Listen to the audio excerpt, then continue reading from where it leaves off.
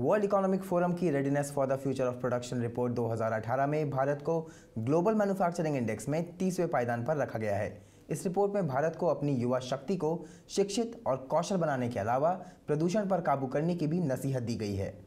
नोटबंदी के तुरंत बाद, यानी नवंबर 2016 के मुकाबले नवंबर 2017 में औद्योगिक उत्पादन की दर में आठ दशमलव चार फ़ीसदी की बढ़त आई है। हालाँकि सरकारी आंकड़े के जारी होने के तुरंत बाद, वर्ल्ड इकोनॉमिक फोरम ने readiness for the future of production report 2018 जारी किया, जिसमें भारत को स्ट्रक्चर ऑफ़ प्रोडक्शन, यानी उत्पादन की संरचना के पैमाने में दुनिया में तीसवें पायदान पर रखा गया है। स्ट्रक्चर ऑफ़ प्रोडक्शन, स्केल, यानी कितना उत्पादन हो सकता है, और कॉम्प्लेक्सिटी, यानी जटिलता का मानक है। इसी तरह ड्राइवर्स ऑफ़ प्रोडक्शन यानी उत्पादन के चालकों की सक्षमता के पैमाने पर भारत विश्व में चौवालीसवें पायदान पर है।